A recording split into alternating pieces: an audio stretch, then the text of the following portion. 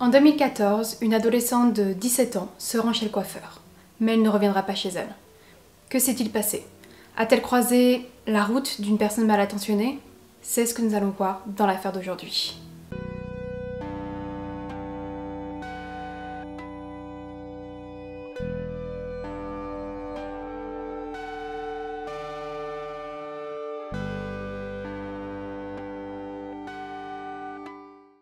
Alexis Murphy est une jeune fille de 17 ans qui vit dans le comté de Nelson qui se situe en Virginie.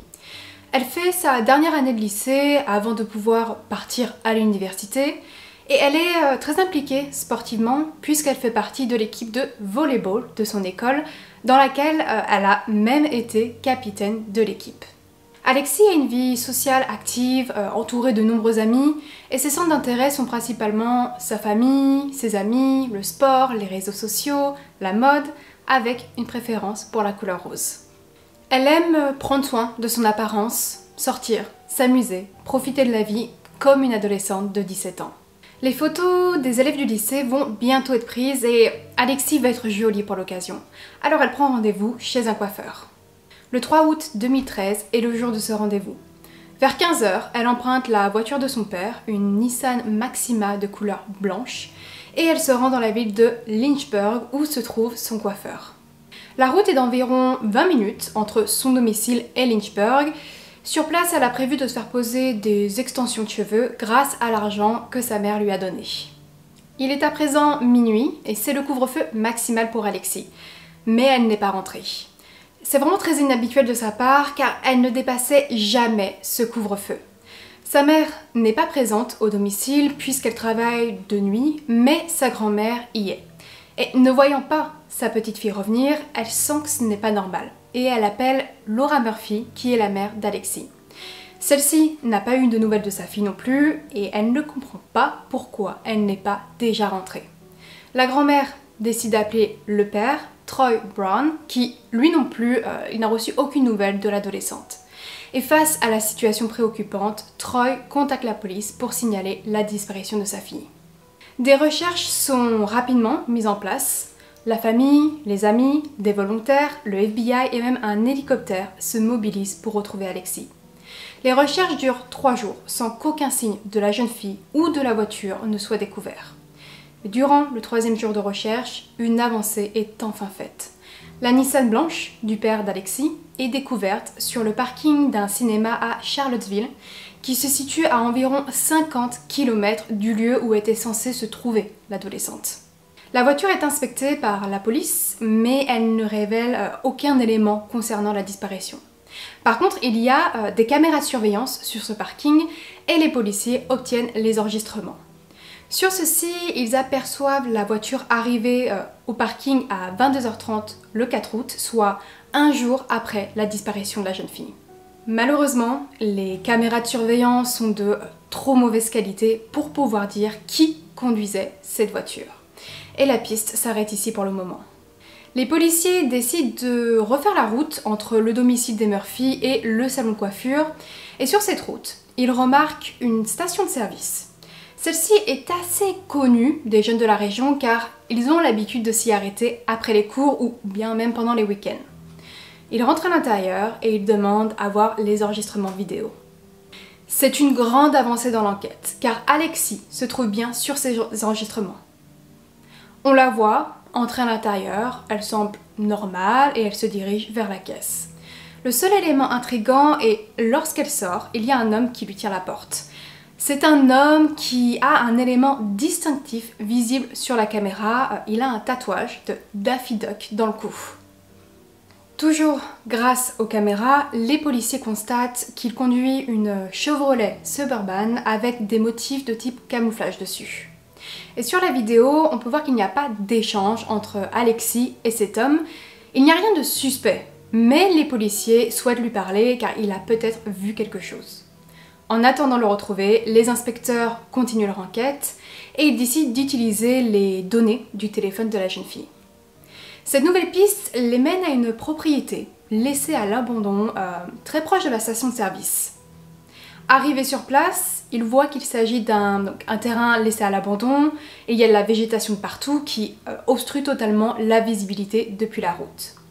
Et en explorant le terrain, les policiers découvrent une voiture avec des motifs de camouflage. Donc le même modèle que celui euh, vu sur les vidéos de surveillance de la station de service.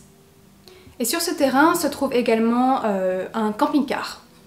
Ils identifient la voiture et ils découvrent qu'elle appartient à un homme de 48 ans nommé Randy Tyler. En interpellant Randy, les policiers comprennent qu'il y a de fortes chances qu'il soit l'homme sur la vidéo de surveillance, dû à la présence du tatouage dans son cou, qui est quand même un élément assez distinctif. Randy coopère avec la police sans problème, il les autorise à entrer euh, dans son camping-car. Et lorsqu'ils fouillent à l'intérieur, les policiers découvrent plusieurs éléments. Ils y trouvent une boucle d'oreille avec un diamant, euh, un long cheveu noir et un ongle. Leur première idée est que ces éléments appartiennent à Alexis. Et lorsqu'ils questionnent Randy sur le sujet, il déclare ne pas connaître la jeune fille. Cependant, après analyse des preuves retrouvées, il est déterminé que l'ADN d'Alexis est présent sur chacun d'entre eux. Les policiers ont besoin de plus d'éléments de preuve et pour ça, euh, ils examinent à nouveau les enregistrements vidéo de la station-service. Et cette fois, ils observent vraiment tous les angles de vue. Grâce à ça, ils voient la voiture de Randy partir de la station avec Alexis qui le suit en voiture juste derrière lui. Ils arrivent également à trouver de nouveaux témoins qui étaient présents à ces stations le 3 août et euh, ceci apporte de nouveaux éléments. Les enquêteurs apprennent que Randy est assez connu des locaux car il vient souvent à, cette station, mais pas forcément pour faire le plan. Il lui arrive de s'y rendre avec sa voiture, de se garer et d'observer les gens euh, qui passent depuis l'intérieur de sa voiture. Un témoin ajoute qu'il a vu Randy et Alexis parler ensemble durant cette journée. Vient aussi le témoignage d'un homme qui gère un magasin de vidéos pour adultes et qui a comme client Randy. Il se rappelle l'avoir vu le 3 août car euh, il était passé acheter deux films 45 minutes avant qu'il ne se rende à la station de service. Mais surtout les policiers constatent que le magasin est situé à quelques kilomètres seulement du cinéma où a été abandonnée la voiture du père d'Alexis. Fort de ces informations, les policiers retournent explorer le camping-car de Randy euh, et ils vont explorer aussi la propriété sur laquelle il se trouve. Grâce à ces recherches plus poussées, les inspecteurs découvrent un t-shirt comportant le sang d'Alexis, des fossiles et des extensions de cheveux. Ils trouvent un autre élément troublant en la possession de Randy. Celui-ci a une sorte de livre sur lequel il fait des collages, pas n'importe quel genre de collage. Il prend des photos de femmes de la région qu'il découpe en gardant leur tête, puis il colle le corps de femmes nues en dessous. Ils font une dernière découverte, celle du téléphone d'Alexis, complètement détruit à seulement quelques mètres du camping-car. Les policiers retournent interroger Randy euh, au sujet de l'adolescente, mais celui-ci nie toujours la connaître. Lorsqu'il est mis euh, face au fait qu'on a retrouvé différents éléments et également que l'ADN d'Alexis est dans son camping-car, Randy comprend qu'il ne peut plus continuer avec cette version et il admet finalement l'avoir vue. Il confie qu'il a déjà fait sa connaissance euh, plus tôt. Elle s'était rendue dans le garage dans lequel il travaille. Le 3 août, il la voit euh, à la station de service et elle s'approche de lui. Elle lui explique qu'elle aimerait fumer de l'herbe, ce qui l'intéresse euh, puisque lui aussi en a envie. Alexis lui dit qu'elle connaît quelqu'un qui pourrait leur en fournir. Ils partent de la station de service, chacun dans leur voiture, et Alexis le rejoint après chez lui en compagnie d'un autre homme qu'il décrit comme étant un homme de type afro-américain avec des dreadlocks. Il continue son récit en indiquant qu'après avoir passé du temps dans le camping-car, Alexis et l'autre homme sont repartis ensemble et qu'il ne les a pas revus. Elle était vivante la dernière fois qu'il l'a aperçue et il ne sait pas ce qu'il s'est passé par la suite. Lorsque les policiers lui demandent le nom de cet homme, Randy indique un nom, Damien Bradley. Même si la version euh, donnée par Randy n'explique absolument pas comment du sang appartenant à Alexis s'est retrouvé dans le camping-car, ils doivent vérifier cette version. Et ils partent interroger Damien. Celui-ci euh, leur répond que ce qu'a raconté Randy est faux, il n'était pas là ce jour-là, lui se trouvait avec son père dans l'état de l'Alabama. Ce qui est confirmé. Cette nouvelle version de Randy ne tient donc absolument pas la route et il est arrêté pour l'enlèvement de la jeune fille. Il ne l'arrête pas pour meurtre, étant donné que pour le moment, il n'y a aucun corps pour l'affirmer. Il faut savoir que Randy a déjà été considéré suspect dans un homicide potentiel quelques années plus tôt, en 2010. Le 13 novembre 2010, Samantha Clark, 19 ans, a disparu et on ne l'a jamais retrouvée. Elle était chez elle avec son petit frère. Et dans la soirée, elle lui a dit qu'elle sortait, mais qu'elle ne reviendrait pas trop tard. À 1h30, son petit frère ne la voyant pas revenir, appelle sa mère au travail pour l'informer. La mère de Samantha est rentrée vers 7h du matin et elle a constaté qu'elle n'était toujours pas là. Elle a donc appelé la police pour signaler la disparition de sa fille. Randy a été connecté à cette disparition car lorsque les policiers ont examiné les relevés téléphoniques euh, de Samantha, ils ont vu qu'il l'avait appelée à 5 reprises durant cette soirée. Ils ont également appris qu'elle avait passé du temps avec lui et avec des amis euh, les semaines qui ont précédé et surtout qu'ils vivaient dans le même lieu de campement. Lorsqu'il a été interrogé, euh, il a expliqué qu'il l'avait contactée car celle-ci avait une relation avec un homme en couple et que la copine de celui-ci avait menacé de s'en prendre à elle, et donc il voulait simplement la prévenir.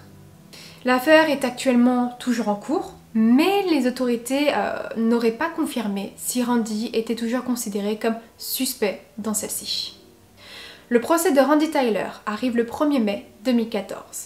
Et entre son arrestation et le procès, la justice a changé sa position.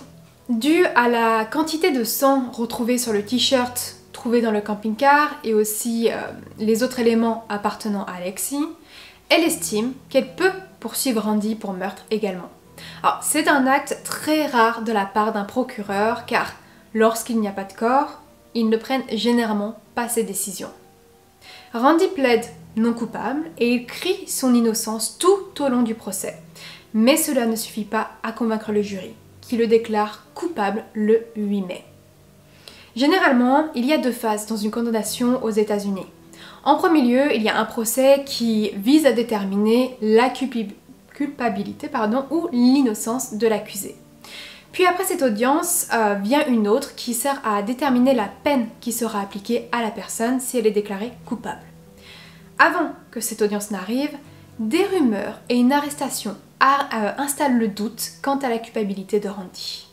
Entre 2009 et 2014, trois autres femmes ont disparu dans les alentours de Charlottesville, donc proche du lieu où a été retrouvée la voiture d'Alexis. Il s'agit de Morgan Harrington, 20 ans, Samantha Clark, 19 ans, dont je vous ai parlé précédemment, et de Anna Graham, 18 ans. Jesse Matthew a été arrêté pour les enlèvements et meurtres de Morgan et Dana.